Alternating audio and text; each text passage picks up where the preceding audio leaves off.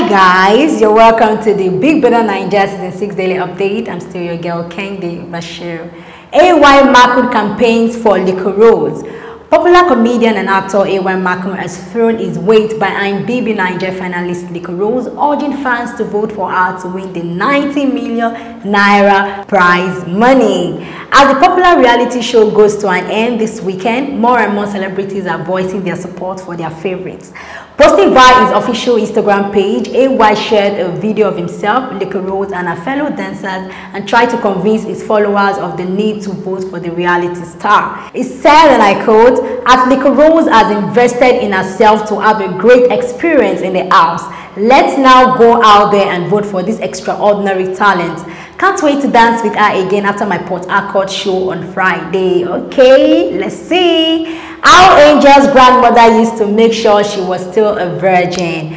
Angel may be a big girl now, but there was a time her grandmother used to check her to make sure she was still a virgin. In a private chat with Cross, Angel revealed that the action back then was to stop her from getting pregnant at an early age. She said, and I quote, I was so scared. I remembered when she would tell me to lay down on the bed and check that if I was still a virgin. And that is stupid, you know, because not every woman has a hymen. Some women are virgins and they don't have hymens. Well, mm. very funny, you know. Liquorose eats Emmanuel for implying her love is fake. Liquorose rebuked her love interest Emmanuel after he insinuated that the love she showed him is fake. Emmanuel had his back turned to Liquorose when she came up to him, wrapped her hands around him in a lingering caress.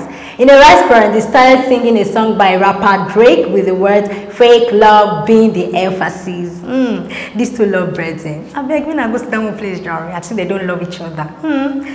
Why White Money is eager to see Boma after the show?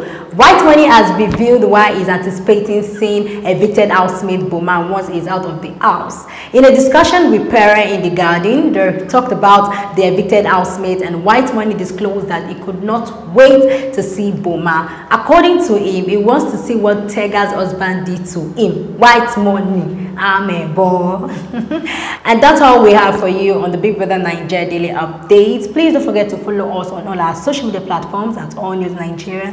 Please like, subscribe, and drop a comment for us in the comment section. I still remain your girl, Kendi Bashir. Thanks for watching.